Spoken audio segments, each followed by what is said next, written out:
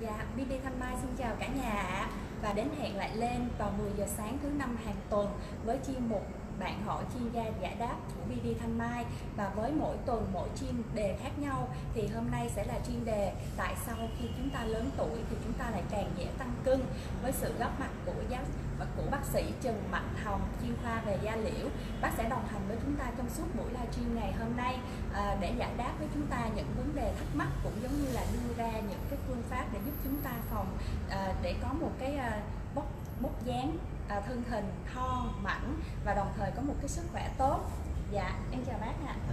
Dạ. xin chào quý vị đang theo dõi chương trình livestream ngày hôm nay của BB Thanh Mai. Dạ, thì à, với chuyên đề ngày hôm nay là tại sao khi mà chúng ta càng lớn tuổi thì cái tình trạng mà chúng ta sẽ bị tăng cân rất là dễ dàng và tích trữ mỡ dư thừa rất là nhiều. Thì nhờ bác chia sẻ vấn đề này à, giúp cả nhà ạ. À, về cái vấn đề mà tại sao chúng ta càng lớn tuổi chúng ta lại càng cái cân nặng chúng ta lại tăng lên nhiều hơn rồi à, mỡ chúng ta tích trữ nhiều hơn à, so với khi còn trẻ thì đây cũng là cái câu hỏi của rất là nhiều người thắc mắc và cũng là cái chủ đề của nhiều chị em cũng như nhiều anh em quan tâm đến vấn đề này. À, thì cái đầu tiên là phải kể đến về tại sao chúng ta lại dễ dàng tăng cân chúng ta dễ dàng tích trữ mỡ dư thừa trên cơ thể. Ví dụ như ở vùng bụng à, ví dụ như ở vùng nọng cằm à, ví dụ như ở vùng à, tay vùng đùi thì những cái vùng mà hay tích trữ mỡ nhiều nhất của cơ thể thì làm cho chúng ta có cái thoát, cái vóc dáng cái thân hình à, nó không được đẹp không được thon gọn à, không được à, à, nhìn hấp dẫn như là khi mà chúng ta à, có thân hình mảnh mai thì sẽ hấp dẫn hơn. À, thì cái nguyên nhân đầu tiên mà chúng ta phải kể đến đó, đó là về vấn đề nội tiết tố. Thì khi mà chúng ta càng lớn tuổi thì chúng ta có cái sự thay đổi về nội tiết tố à, so với lúc trẻ à, đặc biệt là với các chị em mà đặc biệt là sau khi mà sinh con xong thì cái nội tiết tố thay đổi rất là nhiều. À, và trong cái quá trình à, sinh con đó làm cho à, các bà mẹ là phải ăn nhiều hơn phải hấp thu à, dinh dưỡng nhiều hơn so với bình thường hay là trong quá trình mang bầu cũng vậy à, phải ăn uống nhiều hơn. Thì à, một phần cái dinh dưỡng đó à, là đưa vô em bé thôi. Còn một phần còn lại rất là nhớ lớn đó là được tích trữ vô người mẹ thì tích trữ ở vùng bụng nhiều tích trữ ở vùng nọng cằm nhiều ở trên cơ thể à, làm cho sau khi mà à, bà mẹ sinh con xong thì thường là à, sẽ có dư thừa cái lượng mỡ nhất định à, cũng à, làm cho chúng à, chúng ta có cái thân hình nó không còn được mảnh mai như là lúc còn trẻ nữa. À, thứ hai nữa đó là sự thay đổi về nội tiết tố à, về thay đổi về cái hóc môn của cơ thể. Thì khi mà chúng ta càng lớn tuổi thì hóc môn nó sẽ làm chúng ta có cái thiên hướng là sẽ dễ dàng à, tích trữ mỡ nhiều hơn trên cơ thể. Những cái hormone uh, nội tiết tố như cortisol uh, ờ, sẽ cái nồng độ nó sẽ thay đổi khi mà chúng ta lớn tuổi. Thì chính những cái hormone này làm cho cơ thể chúng ta tích trữ mỡ ở trong cơ thể nhiều hơn. À, vậy thì à, bây giờ à,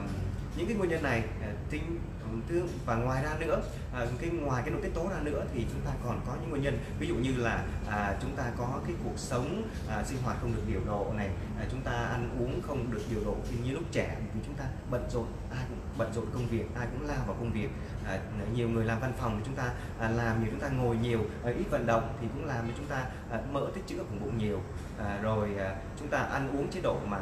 có nhiều các cái à, carbon hydrate À, nhiều tinh bột nhiều đường thì cũng làm cho chúng ta là à, tích trữ nhiều mỡ hơn so với lại à, khi mà chúng ta à, có chế độ là chúng ta ăn uống đạm nhiều hơn rồi rau xanh nhiều hơn à, thì sẽ tốt hơn cho sức khỏe. Thì đó là những cái nguyên nhân chính mà làm cho chúng ta bị tích trữ mỡ nhiều. Đầu tiên là về hormone à, thứ hai đó là về chế độ ăn uống thứ ba là chế độ sinh hoạt làm việc.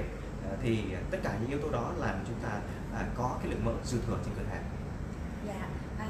thì bác ơi à, theo em được biết á, thì trong cái cơ thể của chúng ta đó thì lúc nào cũng sẽ có hai loại mỡ đó là mỡ cứng thì mỡ và mỡ mềm. Thì bác có thể nói rõ hơn về cái vấn đề này được không ạ? À, như bạn nói rất là đúng. Thì à, chúng ta có hai có hai cái loại mỡ chính trên cơ thể đó là mỡ cứng và mỡ mềm. Thì với cái mỡ mềm tức là cái mỡ mà chúng ta à, mới tích trữ ví dụ sau khi mà chúng ta à, ăn uống một chế độ mà nhiều năng lượng thì cái năng lượng đó nó sẽ không có sử dụng hết trong cái quá trình mà chúng ta à, làm việc chúng ta à, không có tiêu thụ hết cái năng lượng đó thì nó sẽ tích trữ lại trong cơ thể. Ở dưới dạng đó là mỡ. À, ngoài ra nếu những cái mỡ mà tích trữ lâu năm nhiều năm kéo dài rồi thì nó sẽ chuyển sang cái dạng mỡ cứng. Thì cái mỡ cứng đó thì khi chúng ta à, nó sẽ khó để chúng ta giảm bớt được với chế độ à, luyện tập thể dục thể thao À, thì nó sẽ khó hơn so với cái việc là chúng ta giảm đi cái mỡ mềm mỡ mềm thì chúng ta làm giảm rất là mau nhưng mỡ cứng thì nó khó để chúng ta, ta giảm hơn. Yeah. thì à, theo à, theo như được biết á, thì cái tình trạng mỡ cứng á, thì hay được mọi người ví von là giống như một cái chùm nho vậy đó bác. Thì khi mà giống như là khi mà mỡ mình ăn vào mỗi ngày mình nạp vào thì nó sẽ tích tụ vào giống như những cái trái nho nó sẽ đè nén vào những cái chùm nho nó sẽ tích tụ lâu ngày thì những cái trái nho này nó sẽ bị cứng lại và cái chùm nó sẽ cứng lại thì mình rất khó trong cái vấn đề mà làm hóa lỏng cái mô mỡ đó ra thì nếu mà để dễ dàng mà hóa lỏng cái mô mỡ đó ra thì mình sẽ thường là mình sẽ sử dụng những cái công nghệ đỉnh cao giống như là cái enzyme vào để hóa lỏng cái mô mỡ và mình sẽ đưa nó ra theo cái hệ bài tiết mà không hề làm ảnh hưởng gì đến sức khỏe của mình à, phải không ạ? Đúng, chính xác. Dạ, à, thì à, nếu mà cái tình trạng mà những cái vấn đề mà à, bị tích trữ mỡ như vậy á bác thì không biết là mình có bị ảnh hưởng đến sức khỏe của mình không ạ?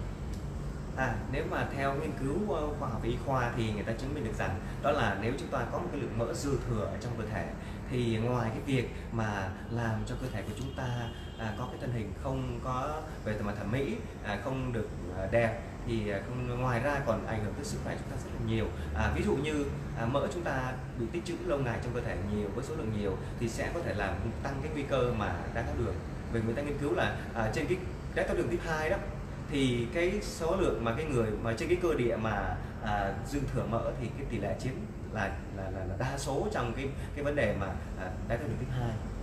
thì ngoài ra có những vấn đề ví dụ như về tim mạch. À, tim mạch thì chúng ta có à, mỡ trong lượng mỡ trong máu cao thì sẽ có thể dẫn đến nguy cơ đó là các cái mỡ các cái uh, phần tử mỡ này nó sẽ được tích tụ tại trên cái thành mạch máu. À, về tích tụ như vậy càng lâu ngày thì nó sẽ tạo ra các cái mảng gọi là mảng sơ vữa à, cái mảng mỡ sơ vữa trên thành mạch thì khi một ngày nào đó nó nó nó nó bị tức là nó đầy ở trong một cái thành mạch ví dụ như mạch cái mạch đặc biệt là mạch vành của chúng ta thì nó sẽ làm à, thu nhỏ cái mạch máu lại và làm dẫn đến cái vấn đề à, đó là thiếu máu nuôi dưỡng cho cái à, cái quả tim của mình. À, đó gọi à, ngoài ra thì nó trên mạch máu của não cũng vậy khi mà cái mạch máu cái lượng máu mà nó bị giảm đi do cái mỡ nó chèn ép bên trong cái mạch nó tích trữ trong mạch máu rồi thì cũng là yếu tố mà dẫn đến thiếu máu nuôi dưỡng não. À, và một cái nguy hiểm nữa đó là một ngày nào đó mà cái cái mảng sơ vữa các cái mảng mỡ mà tích trữ trong cái máu đó nó không có nằm yên tại cái chỗ mà nó tích trữ đó mà nó bị uh, một cái tác động nào đó nó bị vỡ ra và nó đi lang thang lang thang trong các mạch máu và tới một nơi. Ví dụ như tới mạch máu não đi nó bị tắc tại những mạch máu nhỏ thì chính là chính cái đó chính gây ra vấn đề đó là, là tắc mạch máu và gây hoại tử cái phần phần phần mô não mà không được nuôi dưỡng nó. Tình trạng trên tim chúng ta cũng vậy sẽ gây đến tình trạng của đột quỵ. À, thì nói chung là khi mà cái tình trạng mà cơ thể của mình mà bị tích trữ rất là nhiều lượng mỡ dư thừa thì à, chúng ta còn bị ảnh hưởng rất là nhiều luôn. Và cũng có một cái câu nói vui á, mà mọi người hay nói nôm na đó là vòng bụng càng to thì vòng đời càng nhỏ ạ à. dạ thì cái này á, khi mà mình bị tích trữ mỡ lâu ngày quá thì không những là khiến cho cái diện mạo của chúng ta nó sẽ không còn đẹp nữa chúng ta sẽ không còn được thon gọn nữa um, ảnh hưởng đến hình ảnh của chúng ta không còn đẹp. Và đồng thời nó sẽ ảnh hưởng đến cái quá trình mà sức khỏe của mình. Giống như là hồi nãy giờ bác Hồng chia sẻ là sẽ ảnh hưởng là giống như là sơ vữa động mạch nè rồi tim mạch nè hoặc là mỡ nhiều ở trong máu nè hoặc là những cái đái tháo đường vân vân. À, thì cả nhà à, cả nhà cố gắng chăm sóc sức khỏe của mình nhiều hơn cả nhà nhé. Dạ. À, thì không biết là bên mình có những cái công nghệ và những cái liệu trình giảm béo nào không để chia sẻ với cả nhà bác hả? Về vấn đề mà điều trị về về về giảm béo yeah. Dạ. thì chúng ta có một số cái công nghệ mà chúng ta ờ, không cần phải là xâm lấn thì trước đây thường là à, để mà điều trị những vấn đề về giảm mỡ như giảm mỡ bụng hay giảm béo thì thường chúng ta à, sẽ nghĩ đến là một là chúng ta tập luyện thể thao hoặc hai là chúng ta tìm tới bác sĩ bên phẫu thuật đó là chúng ta thực hiện cái cuộc đó là phẫu thuật để hút mỡ này lấy cái mỡ dư thừa ra tuy nhiên thì với cái sự phát triển của khoa học hiện nay thì chúng ta có một số cái phương pháp khác. À, ngoài cái việc mà à, chúng ta à, hút mỡ ra thì chúng ta có những phương pháp mà cũng đạt được hiệu quả khá tốt mà không cần phải xâm lấn. À, đầu tiên chúng ta phải kể đến là chúng ta có những cái loại sóng công nghệ. À, ví dụ như chúng ta sử dụng sóng à, cao tần RF chúng ta đánh vào cái vùng mỡ đó à, cũng làm cho cái mỡ nó nó được à,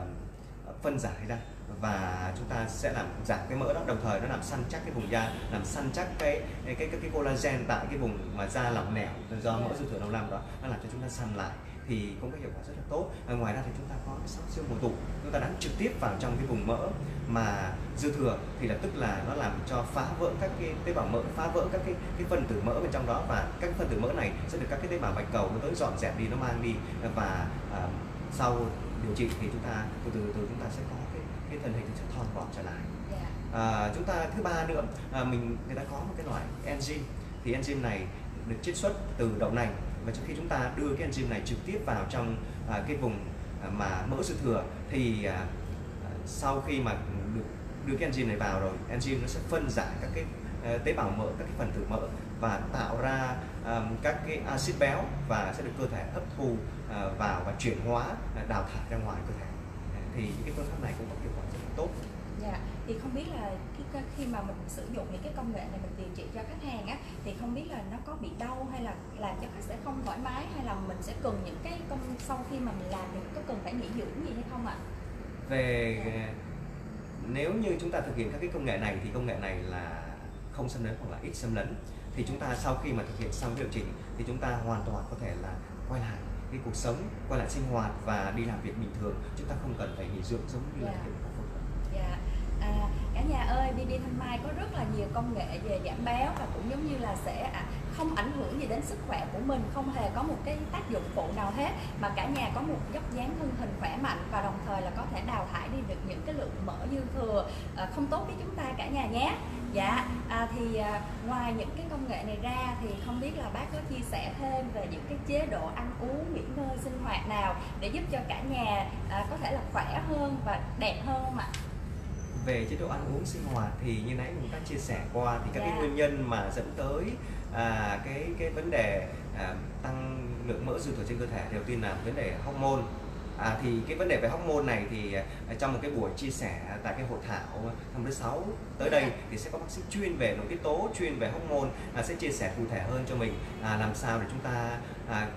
kiểm soát được cái vấn đề hormone trong cơ thể làm sao điều hòa được à, sự à, gọi là sự cân bằng về nội tiết tố trong cơ thể để chúng ta có một cuộc sống tốt hơn khỏe mạnh hơn à, và à, giảm đi được cái lượng mỡ trên cơ thể. Thì trong cái bài đó à, các bác sĩ sẽ chia sẻ cụ thể hơn. À, còn hôm nay thì về à, một cái trong cái live stream như vậy thôi thì chúng sẽ chia sẻ với quý vị đó là à, chúng ta làm sao có cái chế độ sinh hoạt làm sao à, ăn uống làm sao để chúng ta à, có à, hạn chế được cái việc tích trữ mỡ trên cơ thể. Và nếu chúng ta đang có thì làm sao chúng ta làm giảm bớt đi có thể tự chúng ta làm được. Thì à, đầu tiên đó đó là chế độ mà ăn uống. Thì chế độ ăn uống à, quan trọng nhất đó là cái việc mà làm tăng cái lượng mỡ trong cơ thể đó chính là tinh bột. Tinh bột nó à, và đường. Thì những cái này có trong uh, cơm trong gạo trong uh, bún trong mì trong phở. Thì những cái này nếu như mà chúng ta ăn quá nhiều thì sẽ làm cho cái lượng mỡ tích trữ càng nhiều hơn. Thì chúng ta nếu chúng ta lo lắng cái việc được tăng à, tăng lượng mỡ trong cơ thể. Và chúng ta thấy là à chúng ta bắt đầu ăn uống bắt đầu thấy nó tăng lượng mỡ dư thừa rồi chúng ta giảm bớt lại giảm bớt lại. Thì có thể là chúng ta sẽ phân bố vào cái việc ăn tinh bột này vào buổi sáng và buổi trưa nhiều hơn. Còn buổi tối thì chúng ta hạn chế ăn tinh bột bởi vì khi ăn tinh bột vào buổi tối thì cái việc tích trữ lượng mỡ sẽ nhiều hơn dễ dàng hơn so với lại chúng ta ăn tinh bột vào ban ngày. Buổi tối chúng ta nên ăn những cái thực phẩm à, ví dụ như um, ờ, rau xanh hoa quả rồi các cái loại đạm à, từ các cái loại động vật à, ví dụ như tôm cua cá thì những cái động vật này nó à, cái đạm lượng đạm của nó ít gây tích trữ mỡ cho cơ thể. Và à, tiếp theo đó là chế độ sinh hoạt. Thì à, chúng ta nếu mà chúng ta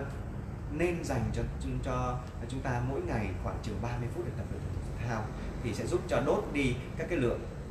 calo dư thừa đồng thời là làm cho điều hòa cái tiết tố trong cơ thể làm cho chúng ta à, khỏe hơn À, có dồi dào năng lượng hơn để chúng ta làm việc tốt hơn Dạ, à, thì à, trên Facebook của fanpage BB thì có rất là nhiều câu hỏi đặt cho bác ạ. À. em chào chị à, chị Nga, em chào chị Thi, em chào chị Thu, em chào chị Thu Thủy, Thu Thủy à. Thì à, chị Nga thì à, em thấy cả nhà mình là có đặt câu hỏi cho mình là làm xong có cần nghỉ ngơi hay không nè, rồi à, bên mình có dịch vụ giảm béo nào hay không nè và à, chưa sinh con lần nào thì liệu có làm được những cái công nghệ này hay không ạ? À? Thì em cũng xin chia sẻ luôn là tất cả các công nghệ bên em đều là công nghệ không xâm lấn và không khi mà làm xong chúng ta không cần phải nghỉ dưỡng gì hết khi mà trong quá trình điều trị nó diễn ra rất là nhẹ nhàng và thoải mái cả nhà nhé à, thì mình ví dụ mà mình chưa có sinh con hoặc là mình mình đã lớn tuổi rồi thì mình vẫn sử dụng được hết tất cả các công nghệ bên em luôn ạ. À. và ừ, khi mà mình điều trị sẽ đạt được hiệu quả tối ưu nhất. À, thì à, ừ, cả nhà nếu mà ai có thắc mắc gì thì vui lòng để lại số điện thoại bên em sẽ có nhân viên tư vấn sẽ gọi điện liên lạc với mình liền cả nhà nhé thì khi mà cả nhà tới thì bên em sẽ có bác thăm khám da cho mình để xem cái tình trạng cái cơ địa của mình như thế nào và phù hợp với lại liệu trình điều trị ra sao à, để đạt được hiệu quả tối ưu cả nhà nhé. Dạ à, thì à, cũng như buổi livestream ngày hôm nay à, em cũng à, xin chia sẻ là ngày mai vào lúc 10 giờ sáng à, tại BB Thanh Mai 158 Võ Thị Sáu quận 3 à, sẽ diễn ra chương trình hội thảo về tăng cường nội tiết tố và hồi phục 10 năm sức khỏe cũng giống như là sắc đẹp à, em mời cả nhà mình sắp xếp thời gian quý báu để tới tham dự buổi BB à, đến tham dự hội thảo cùng BB cả nhà nhé. Và ngày mai với sự à, đóng với sự góp mặt của tiến sĩ bác sĩ thai à, bác là bậc thầy của ngành y khoa thì bác sẽ cùng chúng ta chia sẻ với tất cả những cái công nghệ làm đẹp trẻ hóa cũng như là những cái trong à, những cái công nghệ làm cho chúng ta sẽ khỏe hơn. À, và cũng chia sẻ với chúng ta những cái kinh nghiệm những cái kiến thức nào để chăm sóc da cho mình để giúp cho mình là tươi trẻ nè khỏe đẹp nè cả nhà nhé dạ à, thì à, buổi livestream ngày hôm nay của chúng ta đã kết thúc rồi em cảm ơn mọi người đã à, chia đã xem và chia sẻ với bên em ạ à. à, em chào cả nhà và hẹn gặp, gặp lại cả nhà vào 10 giờ thứ năm tuần sau trên fanpage của BB Thanh Mai cả nhà nhé dạ. em chào cả nhà